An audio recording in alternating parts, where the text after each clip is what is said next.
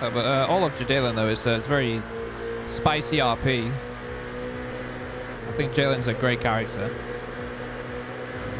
It's just, um, obviously, Eddie isn't going to let that fly when it happens to one of his boys, you know?